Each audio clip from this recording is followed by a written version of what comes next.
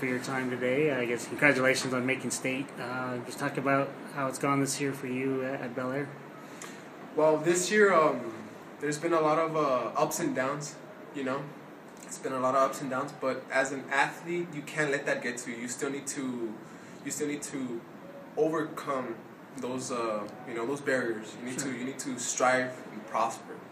You know, you need to you need to have a strong mentality, especially in this race, because this race requires a 400 meter dash, of course, requires a a strong-minded person, well-rounded person. You know, if you want to be a world-class athlete, a state champion, a regional champion, whatever it is, you know, you need to have that uh that strong mind that you can't let this what's it called the the the little barriers, the little things that hold you back from succeeding Sure.